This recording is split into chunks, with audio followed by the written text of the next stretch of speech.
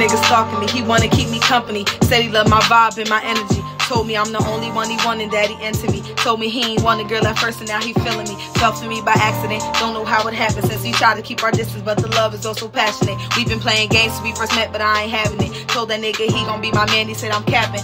Now I'm out here blasted. Got that nigga gone up in his head. He a madman. Asking where I'm at and how I been. He got it bad man. Told me he got hoes. I said okay and just start laughing. Told him if he gave his heart away, then they can have it. And he be out here trapping. Little nigga the plug and he gon' be about that action. Told him I can make him fall in love. He ain't believe me. Got that nigga all up in his thoughts and he ain't see it. Now the daddy popping up at cribs, he be creeping, creeping through the windows of my soul and he ain't leaving. Now the daddy fiending, like damn, I can't believe it. I done made this player fall in love and I ain't mean it. How could I not have seen it? His actions always seem to contradict what he be saying. He saying he don't like me, but I know that he be playing. He say he not gonna wife me, but be acting like my man.